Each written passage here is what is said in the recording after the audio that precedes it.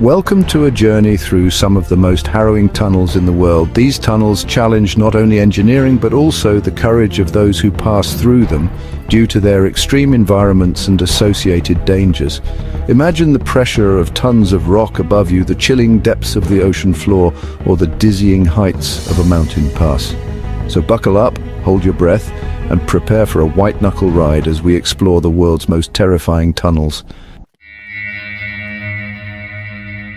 Our first descent takes us deep into the heart of the Swiss Alps, to the Gotthard Base Tunnel. This engineering marvel is the longest and deepest traffic tunnel in the world, stretching over 35 miles and plunging over 2.3 kilometers beneath the peaks. Driving through the Gotthard is like a descent into the Earth's belly. It takes almost 20 minutes to traverse its length where the only sound is the hum of your engine and the pounding of your heart.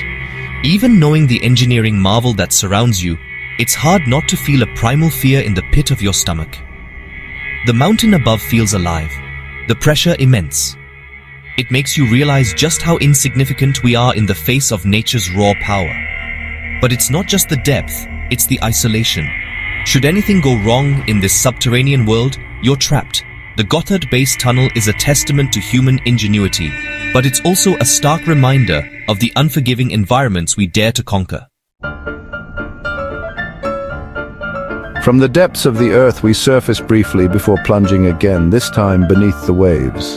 The Seikan Tunnel connects Honshu and Hokkaido, stretching over 33 miles, 14 of which run beneath the seabed. Imagine the crushing weight of seawater above you, trapped in a steel tube at the mercy of the ocean. The Seikan Tunnel is a marvel of engineering, but it's not for the faint of heart. Emerging from the depths of the Seikan, we find ourselves in Norway facing a different kind of challenge. The Lærdal Tunnel, the longest road tunnel in the world. At over 15 miles long, it's a psychological marathon, a test of endurance against the monotony of concrete and artificial light. The sheer length of the Lærdal Tunnel can play tricks on your mind. The lack of natural light, the repetitive patterns of the tunnel walls, it can induce a state of almost hypnotic trance. The Lærdal Tunnel may not present the immediate physical dangers of the Gotthard or the Seikan, but it poses a different kind of challenge. A test of mental fortitude against the oppressive monotony of a world without horizons. From the depths and lengths of man-made marvels, we come to a tunnel carved not by machines, but by sheer human grit. High in the Taihang Mountains of China, the Guoliang Tunnel is a testament to human resilience and a stark reminder of the dangers of the past. Imagine this, a narrow, roughly hewn passage barely wide enough for a single car, carved into the side of a sheer cliff face.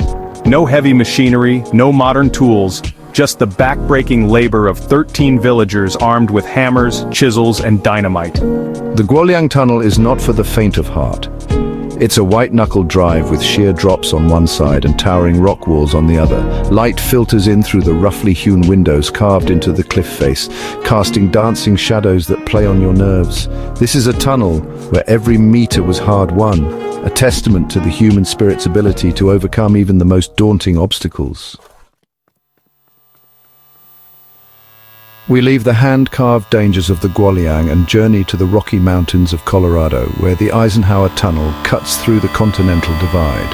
At over 11,000 feet above sea level, it's one of the highest vehicular tunnels in the world, and it's a beast when the weather turns. The Eisenhower Tunnel is located in avalanche country, and when the snow comes down, it comes down hard. The roar of an avalanche is deafening, a terrifying symphony of nature's raw power. Blizzards can whip up in an instant at this altitude, burying the entrances to the tunnel in thick snowdrifts. The Eisenhower Tunnel is a vital artery through the Rockies, but it's also a stark reminder that even the most modern engineering marvels are at the mercy of the raw, untamed power of the mountains. From near the avalanche-prone Rockies, we ascend further to the roof of the world, the Himalayas. Here, Amidst the towering peaks and glaciers, India is carving a path through the treacherous Zojila Pass. The Zojila Tunnel, once completed, will be a lifeline for the region, but it's being carved through some of the most unstable terrain on Earth. Imagine this. You're driving through the tunnel, the air thin and cold, the silence broken only by the hum of your engine. Above you, tons of rock and ice hang precariously, a constant threat. The Zojila Pass is notorious for its landslides and avalanches. The Himalayas are young mountains, constantly shifting and groaning, and the Zojila Tunnel cuts right through the heart of this geological maelstrom. Even with the best engineering, the threat of nature's fury is constant. A sudden rockfall, a tremor in the earth, an avalanche roaring down the slopes. These are the dangers faced by those who dare to conquer the Zojila. The Zojila Tunnel, once completed, will be a testament to human ambition and ingenuity. We leave the towering Himalayas and descend into the heart of Austria to the Arlberg Road Tunnel.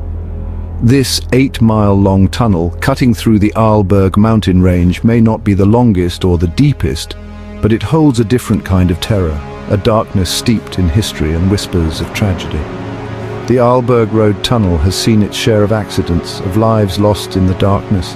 Every bend in the road, every flicker of light, seems to whisper of past tragedies. The tunnel is a confined space, amplifying every sound. The drone of your engine, the rhythmic thump of your tires on the asphalt, even your own breathing seems amplified, echoing back at you from the darkness. Local legends speak of ghostly apparitions, of flickering lights and disembodied voices, of a darkness that seems to hold on to the memories of past tragedies.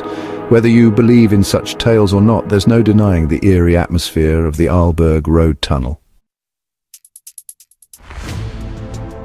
From the haunted darkness of the Arlberg, we journey to the heights of the Bolivian Andes, to a road so treacherous it's earned the chilling moniker Death Road. The North Yungas Road, with its sheer drops and unforgiving terrain, is a challenge for even the most experienced drivers. And within this treacherous path lie tunnels that amplify the danger tenfold. Imagine this.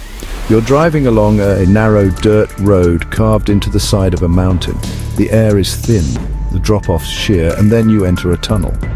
Darkness engulfs you, but this is not the darkness of a smooth, modern passage. These tunnels are rough, unlit, and often barely wide enough for one vehicle. The rock walls close in, damp and slick with condensation.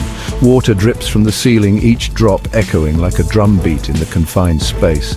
Every turn in the tunnel is a blind gamble. The North Yungas Road tunnels are not a journey, they're a test of survival. We leave the treacherous Death Road and journey to the highest paved international road in the world, the Karakoram Highway. This engineering marvel, snaking its way through the Karakoram mountain range is a testament to human ambition. But nestled amongst its breathtaking beauty are tunnels that pose a unique set of challenges. Imagine this, you're driving along the highway, surrounded by towering peaks and glaciers that seem to claw at the sky. The air is thin, the altitude dizzying, and then you enter a tunnel. The darkness is immediate, a stark contrast to the blinding snow and ice outside. These tunnels carved through solid rock offer a different kind of danger. The altitude, already challenging, can wreak havoc on engines and oxygen levels. The air inside the tunnels is often thick with exhaust fumes, making every breath a laboured effort. Driving through the Karakoram highway tunnels is like playing a high-stakes game with nature. Our final descent takes us back to Europe to the Mont Blanc Tunnel, an 11.6 kilometre or 7.2 mile long tunnel connecting France and Italy beneath the Mont Blanc Massif. This engineering marvel, once a symbol of progress and cooperation, is now haunted by the memory of a tragedy that shook the world. Imagine this, you enter the tunnel, the air thick with the smell of exhaust fumes and a palpable sense of unease. The date is March 24th, 1999. A transport truck carrying flour and margarine catches fire. It seems like an ordinary accident, but within minutes the tunnel transforms into an inferno. The fire raged for 53 hours, trapping dozens of vehicles and their occupants inside. 39 people lost their lives in the Mont Blanc tunnel fire, a stark reminder of the fragility of life and the unforgiving nature of such confined spaces. Today the tunnel has been rebuilt with state-of-the-art safety features, but the memory of the tragedy lingers, a ghostly presence that haunts every journey through its depths. These tunnels, each a marvel of engineering in its own right, stand as testaments to human ambition and our relentless pursuit of conquering nature's obstacles. They connect us, transport us, and allow us to access the farthest corners of our planet. But they also serve as stark reminders of the risks we take, the dangers we face, and the respect we must pay to the forces of nature that surround us. Would you dare to travel through any of these harrowing passages?